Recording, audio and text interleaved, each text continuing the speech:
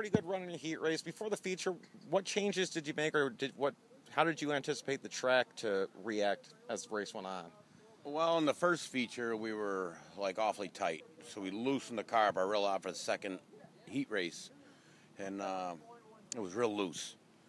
So we just tightened it up a little bit, you know. Uh, we actually borrowed the right rear tire that Pat Ward won the first feature with because he was putting a new one on. Yeah. And we didn't have a hard enough tire, so he was nice enough to give us a tire and borrowed a set of gears from him and just a Hail Mary at it, you know, made some small changes with a different tire combination, and it was actually pretty good.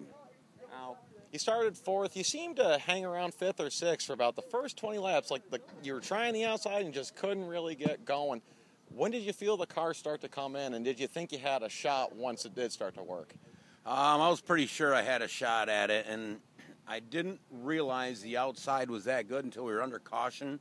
And I looked about a lane and a half above where I was running. I said, I think there's some bite up there. And I just had to hike my skirt up and send it in on it. Yep. And it stuck, and it was probably what got me. Actually, we were really good in one and two in the middle. If I could slow it down enough to roll the middle, we were good there and carry enough momentum to get around them on this end. You know, and Mike Mahaney did a heck of a job, gave me a ton of room. You know, it was just pretty handy when you're running the outside. How much? How much did you enjoy that side by side battle, working and working lap after lap, just to inch ahead a little bit by little bit? You know, there was uh, I was doing the same thing with uh, with Kenny Tremont. You know, race side by side, side by side, and they just race clean. You know, and that's the best kind of racing you can get.